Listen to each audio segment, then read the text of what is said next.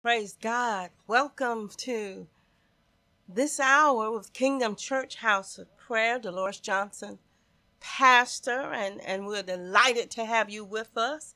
We're located at 2401V Dawson Road. Uh, we meet every Sunday at 11:30. We're live.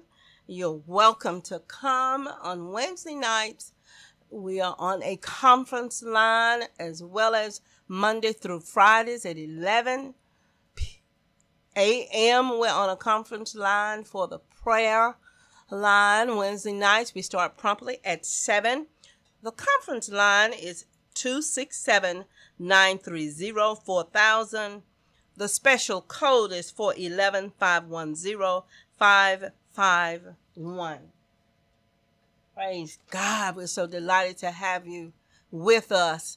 I'm just so, um, just so delighted to read from St. John. This particular book was written by the youngest disciple, the book of St. John, the one that uh, Jesus loved. Of course, he loved all of them. But when John wrote about it, he said the disciple that Jesus loved, and he gives a powerful message. He introduces us to these 21 chapters to the Father. He introduces us to the Holy Spirit. None of the other books of the Gospels uh, introduce us to the Holy Spirit the way John does. And so we're just so blessed to be learning from the book of John. And we're going to just uh, take a thematic approach. And we're going to talk about some of the themes in this very first chapter. We're going to start with uh, the Word of God, the integrity of the Word of God. The very first verse in chapter 1 of St. John says that in the beginning was the Word, and the Word was with God, and the Word was God. And we're just excited about the integrity of the word of God. It, it, it will not fail. It will stand even uh, when everything else does not stand. And there's so many scriptures that will just confirm that. Um, we can't do anything without the word of God. And later on in chapter one, is going to really bring out why God is the word. Uh, Jesus Christ is the word that became flesh. And so we understand why John began that chapter by saying, in the beginning was the word because the word the world was framed by the spoken word of God.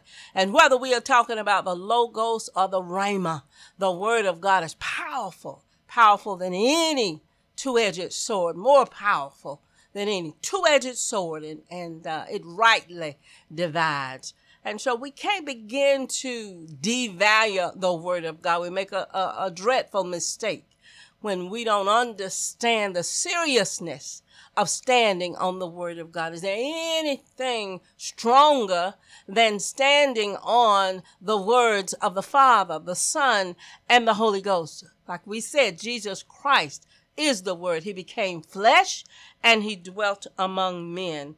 So we're just uh, going to highlight some special points that are brought out concerning the Word of God.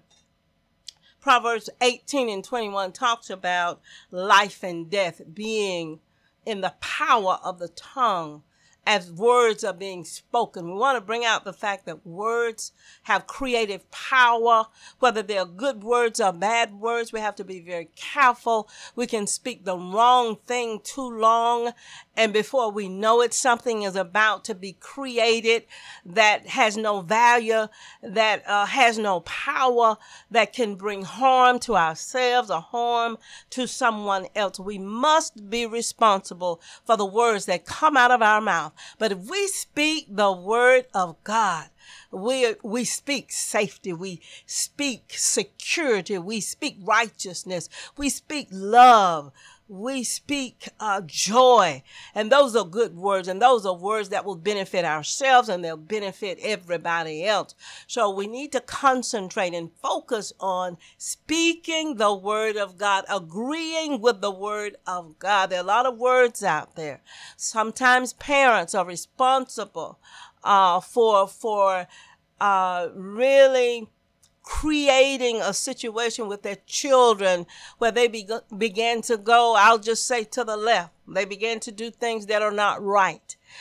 But we've spoken over the years that this is a bad child and this child does this and this child uh, does that. We, you know, we're not complimenting the child. We're not talking about the greatness of the child. And sometimes God wants you to call those things that be not as though they were, even though you see the child uh, getting into trouble from time to time. You pray against it. You ask God about it. You pray for that child. You don't begin to speak all of the negative that you see and allow God to uh, cultivate that child. Allow God to impart Himself into that child as you pray, as you tell the child about Jesus. You know, we spend a lot of time, and it's valuable time, and I compliment you. We send our children to school. I sent my children to school. We uh, uh, we will not allow them to just stay home and not learn, and that's a powerful thing. And and and and you to be you know commended for that. And i thank god that he gave me the mind to ensure that the children would go to school every day and learn. I thank my parents for sending me. But there is a school that is more valuable even uh, uh, than the everyday school that we participate in. Our edu- educational system a wonderful place to be. That is teaching the children the word of god that is giving the children a Christian foundation. That's a stronger school. In fact, the Christian school is going to help every child do better in the uh, the educational school. It's going to uh, give them a better future. They'll have the mind to comprehend even better and quicker. I mean, that's been measured. Uh, uh research has been done on that. So we need to do a great service for our children and we need to tell them about Jesus Christ and commit to not calling them names. And even though sometimes we're disappointed at the choices that they make, no matter how they grow up, even when they get older, oh, begin to call them what God has put in your heart about their greatness. Begin to declare that they're going to fulfill their destiny begin to declare that they're blessed in the city, blessed in the field, blessed going out, blessed coming in. Begin to declare that no weapon formed against them shall prosper, no evil shall befall them, neither shall any plague come now their dwelling. Begin to say, oh, one day they're going to love to be in the house of the Lord because what does the promise say? It says if you rear a child, if you raise up a child in a way that child should go, when that child is old, that child will fulfill that scripture, what you have spoken. It will not. That child will not depart from that rearing. You've taken the time and you told that t- child about Jesus.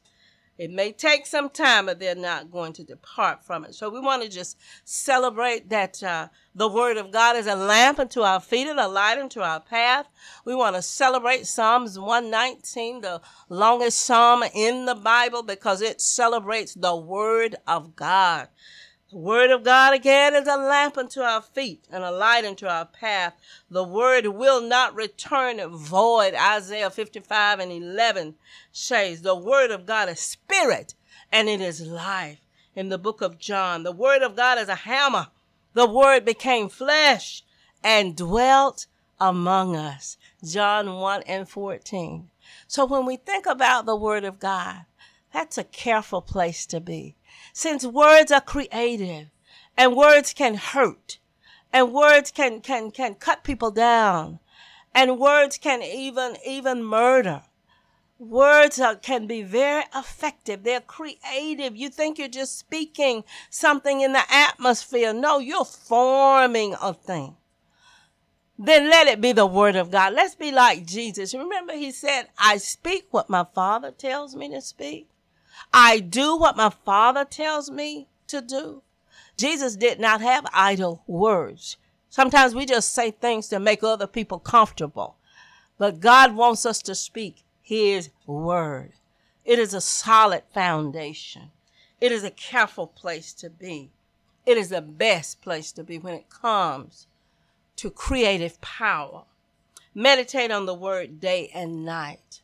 Psalms 1 says, uh, Blessed is a man who walks not in the counsel of the ungodly, or standeth in the way of sinners, but his delight is in the law of the Lord. His delight is in the word of God.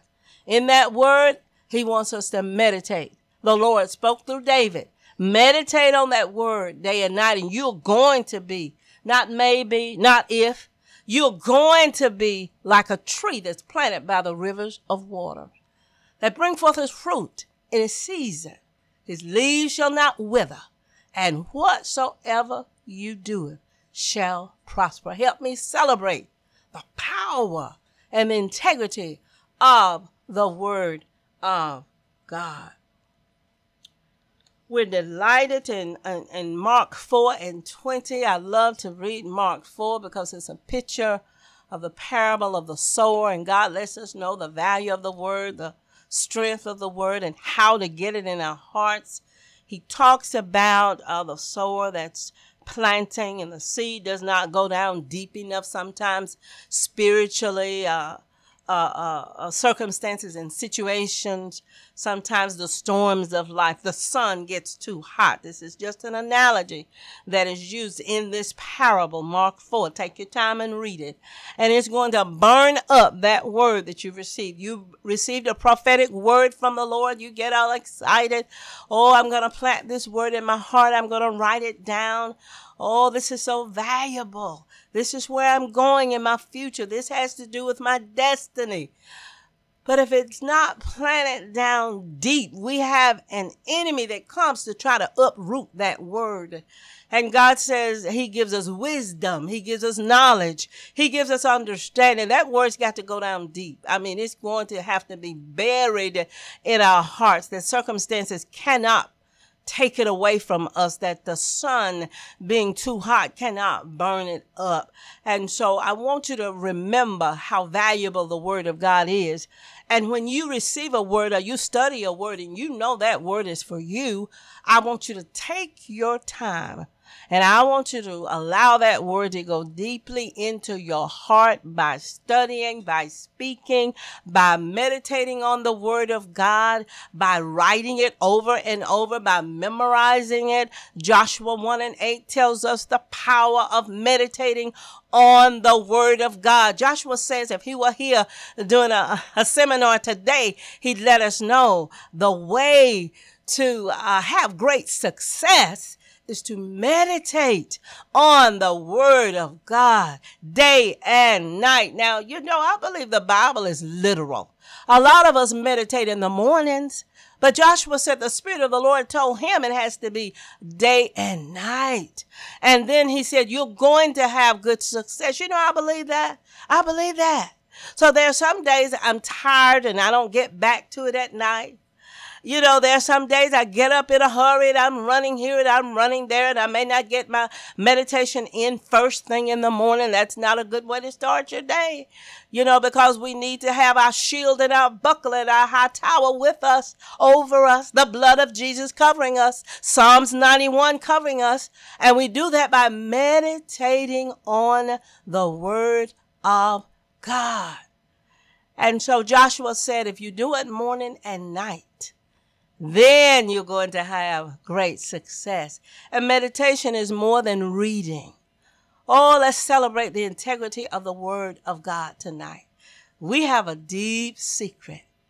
We have a way out that sometimes the world does not know about. Oh, the Word of God can change situations. The Word of God can call things that we don't expect to happen to happen when it is the perfect will of God. The word of God is forever settled in heaven. Forever settled in heaven. Lord, help us uh, put that in our hearts. That's why we don't worry and fear. Because God says, we do not have the spirit of fear. We have power, love, and a sound mind, and we choose to believe the word of God. Let us just pray tonight and we're going to ask God to give us a respect, help us to honor, help us to cherish His word. It will not, the word of God will not return void.